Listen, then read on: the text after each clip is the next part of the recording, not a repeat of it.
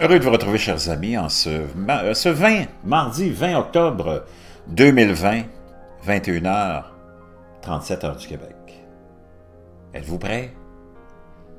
Parce que vous avez intérêt à être prêts. 2020, c'est comme juste une, comme on dit en anglais, un dry run.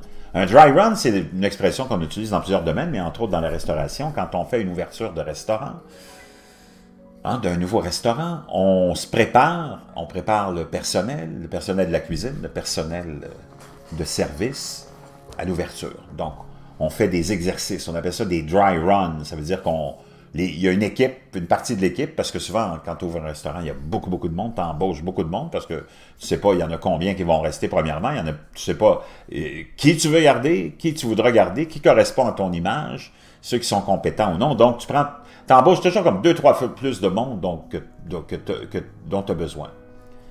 Et là, tu mets une partie de l'équipe de la cuisine dans la cuisine, puis une partie de l'équipe qui n'est pas dans la cuisine, parce qu'on on, on- on- y va à tour de rôle dans la salle à manger comme client, puis tu as les serveurs et les serveuses qui, et les hôtesses et tous les autres qui font leur, leur exécution, un dry run. Ça veut dire que c'est sec, il n'y a pas d'argent.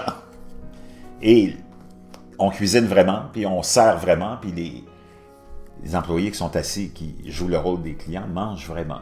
Puis après ça, on fait une rotation. Un dry run. Donc 2020, c'est un dry run pour l'humanité, pour les années qui s'en viennent. C'est pour te préparer. Parce que c'est des décennies de changement, des décennies de perturbations et de misère qu'on va vivre. Je vous l'avais dit, c'est un cycle qui vient de se mettre en marche. On n'est pas sorti de l'auberge. Vraiment pas. Il y en a qui pensent que ça va être dans une semaine ou deux, ça va bien aller. Là. Wow. La robotique menace jusqu'à 800 millions d'emplois dans le monde. Ça nous est rapporté par Bloomberg. Je vous en avais déjà parlé de ça. J'avais trouvé un vieux lien hein, qui remontait il y a quelques années déjà. Puis je l'ai déjà partagé, si ma mémoire est fidèle. Publié aujourd'hui par euh, Lucy Meakin. Les progrès de la technologie d'automatisation menacent une part signific- significative des emplois dans les industries représentant près d'un quart de la main-d'œuvre mondiale, selon les estimations de Bloomberg Economics. Dans un rapport publié mardi, les économistes Ziad Daoud et Scott Johnson ont déclaré que cela pourrait signifier que jusqu'à 800 millions de personnes sont fortement exposées au risque que leur emploi devienne obsolète. Le Conseil de coopération du Golfe, la République tchèque, la Slovaquie, le Japon sont les plus vulnérables aux perturbations dues à l'automatisation, ont-ils écrit.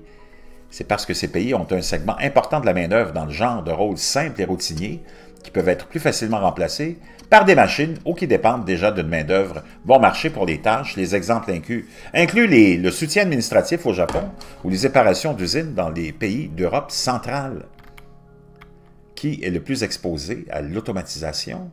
Hein, On peut voir ici.